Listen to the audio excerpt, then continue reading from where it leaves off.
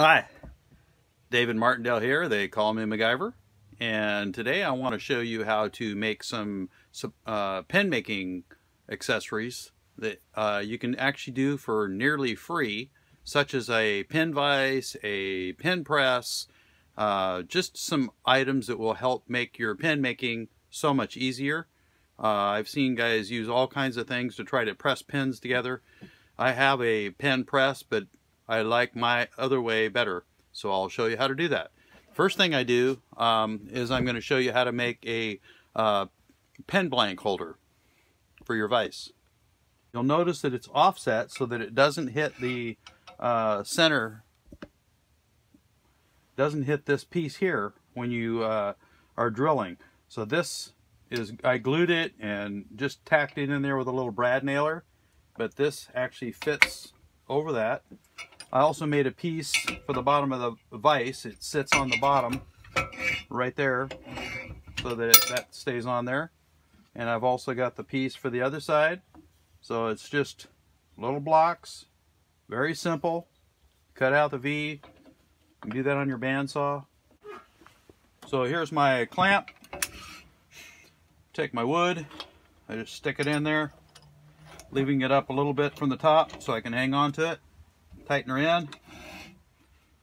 And then I just eyeball it so that I'm hitting the two corners that gives me the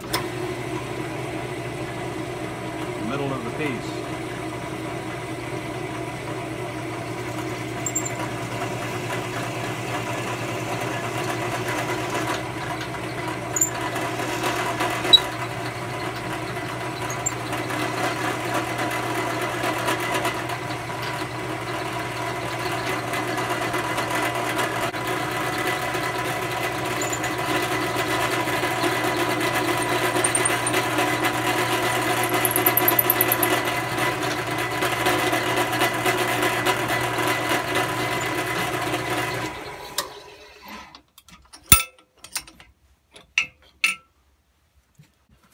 Okay, so what I used to use is I just took a bolt and if you see on here, there's some uh, markings on there and that's to tell you the hardness of the bolt.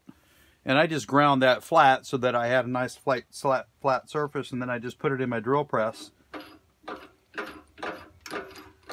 And I just run it up so the bolt's sitting on the bottom of the chuck and just snug it up and then I would push my parts together. But since then I found this black plastic and I just ground the head off of it. It was, I don't even what it, remember what it was for, but uh, it's threaded and it's just got a piece of plastic at the end. I just figured that would be less likely to scratch the head of a pin. So what I did here is this is just a bolt that I drove in from the back side and that sits in there. You can put a little super glue in there if you want to hold it, but I, I actually recessed it in so it's flat and that just, every pin I put on there that holds it straight and then use that for pressing the, uh, the bottom on or the transmission in or if you're pressing a bolt action pin together that just works real slick. You can just adjust your um, height up and down for whatever you need when you put this piece in here, just sits in there like that. That holds it nice and straight so you get it in there. And then there's also the collar. I just set that on the flat spot. Push that in.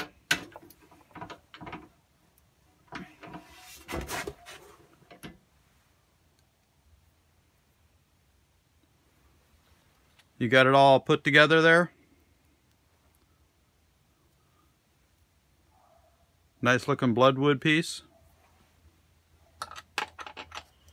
So you put the tip in the hole, set that tail piece on,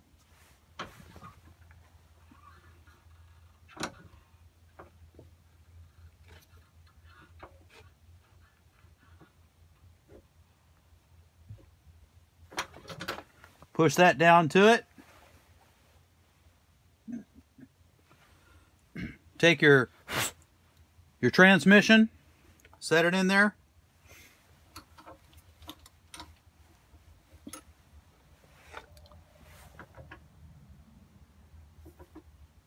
I get it started.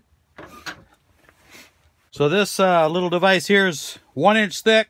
I drill a hole in there that'll fit over my transmission. That gives me exactly the right distance to push that down on a Mont Blanc. Instead of just stopping at that line, you have to push it down that far. That gives you just the right distance. So just to recap, uh, I showed you three different devices. I showed you how to make a pin uh, blank holder for your vise. I showed you how to make a um, pressure or a press tool. Um, that's the board with the bolt in it. And then I also showed you how to make a spacer so that you can get the proper spacing for your Mont Blanc pens without having to keep checking it to see if you've got it at the right distance.